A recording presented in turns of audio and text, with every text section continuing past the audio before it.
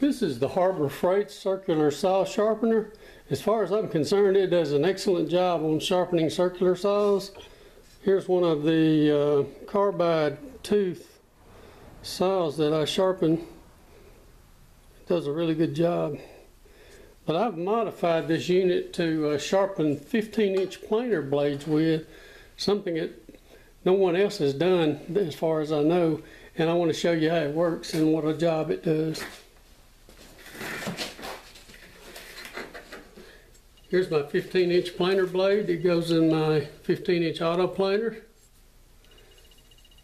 Let's put it in here and adjust the vernier here to uh, let it in and out. And I use these neodymium magnets I got out of a hard drive to hold the blade.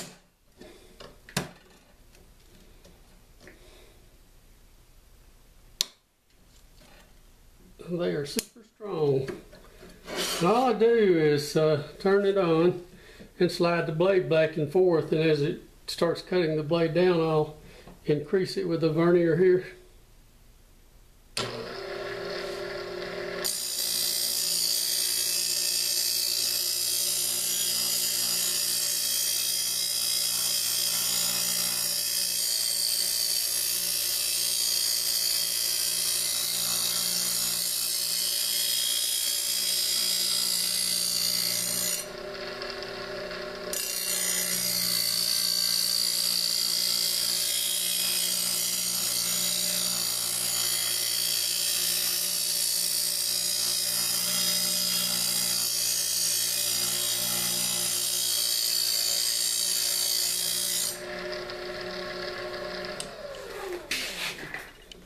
Well, let's take a look at it.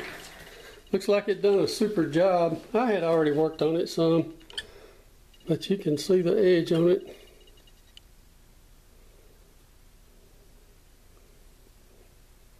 It's very sharp.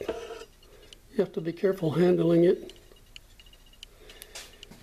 Anyway, that's my hack on the Harbor Freight circular saw sharpener.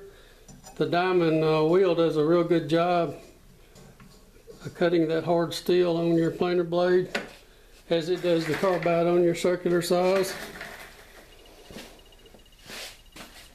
Well, that about wraps it up.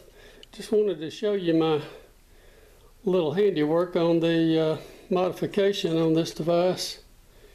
And I guess we'll see you in the next video.